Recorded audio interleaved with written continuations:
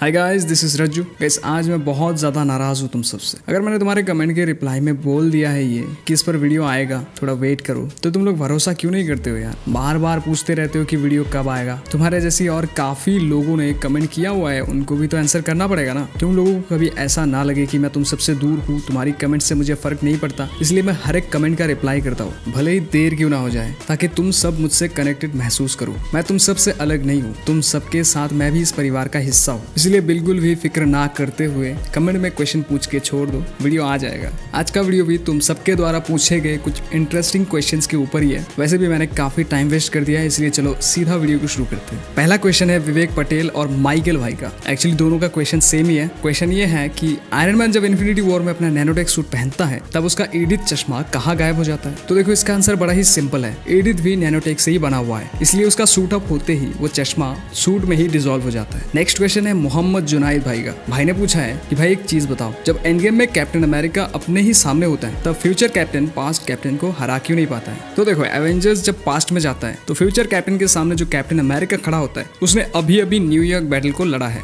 इस टाइम उस कैप्टन का खून बिल्कुल गर्म है। एक के बाद एक मिशन को पूरा करना, दुश्मनों का सफाया करना, ये सबसे उसका हैंड टू हैंड कॉम्बैट काफ़ी अच्छा मेंटेन है। वही पे फ्यूचर वाला कैप्टन पाँच साल तक बैठकर लोगों को सिर्फ़ अपनी ज़िंदगी के दास्तान सुनाया है, या फिर किसी और की दास्तान सुनी है, जिस वजह से उनका एक्सपीरियंस भी धीरे धीरे कम हो गया था एंड वो खुद के ही पाँच वर्जन को हराने में नाकामयाब हो जाता है। नेक्स्ट क्वेश्चन है आर्यन भाई का। वैसे भाई ने दो क्वेश्चन पूछा है, जिसमें से पहला है कि थॉर को कैसे पता नहीं था कि स्ट्रॉम ब्रेकर ही इटर्निटी की चाबी है? और दूसरा क्वेश्चन है, क्या थॉर इटर्निटी से आयरन मैन को वापस ला सकता है? तो देखो, पहला क्वेश्चन यानी थॉर को कैसे पता नहीं था कि स्ट्रॉम ब्रेकर ही इटर्निटी का चाबी है, इसका मेन वजह ये हो सकता है कि बाइफ्रॉस्ट ही इकलौता रास्ता था इटर्निटी तक जाने का। तुम देख सकते हो इटर्निटी के ऊपर जो सिंबल बना हुआ होता है, वैसा ही सेम सिंबल बाइफ्रॉस्ट भी बना देता है। ऐसे सिंबल्स को सेल्टिक नॉट्स कहा जाता है। अब क्योंकि थॉर ने बहुत पहले ही बाइफ्रॉस्ट पुल को तोड़ दिया था, इसलिए इटर्निटी तक जाने का कोई दूसरा ऑप्शन नहीं था। बट लव एंड थंडर में गौर ने यह पता लगाया कि इटर्निटी का चाबी तो बाइफ्रॉस्ट है। अगर स्ट्रॉम ब्रेकर बाइफ्रॉस्ट को समन कर सकता है, इसका मतलब वो इटर्निटी के द्वार को भी खोल सकता है। वहीं पे थॉर ने कभी इस बारे में इतना नहीं सोचा, क्योंकि थॉर को पता तो था कि इटर्निटी है बट कहाँ पे है एंड उस तक कैसे पहुँचना है, ये उसको नहीं पता था।